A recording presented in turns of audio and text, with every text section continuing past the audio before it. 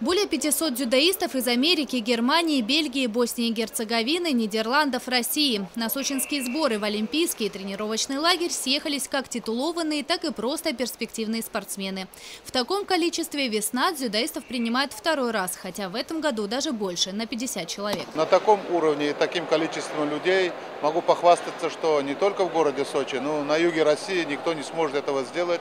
Это огромный труд нашего коллектива и лично председателя Совета директоров Татуляна Рубена Альбертовича. Условия, созданные для тренировок, иностранцы могут сравнить разве что с Японией. Спорткомплекс отеля «Весна» позволяет пройти как серьезную функциональную подготовку, так и общефизическую. Но Олимпийский лагерь называют отличным шансом повышения квалификации. Здесь уровень очень высокий, в Америке ниже. В Сочи есть все необходимое для результативных тренировок. Иностранцев много приехало. Раньше все говорили, откуда такие результаты у Эцу Гамбы, какая методика. И вот они приехали сами посмотреть, потренироваться.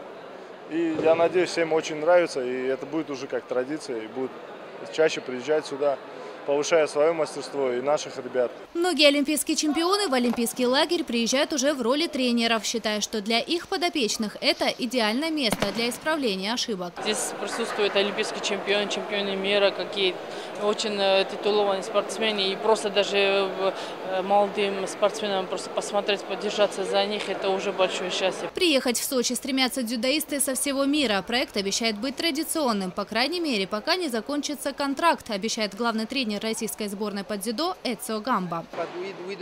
У нас 9 подобных мест по всей Европе, где мы можем собираться в таком количестве. Российская сборная не делится опытом. В первую очередь мы используем опыт подобных сборов для себя. Сами же дзюдоисты используют шанс побороться на международном уровне.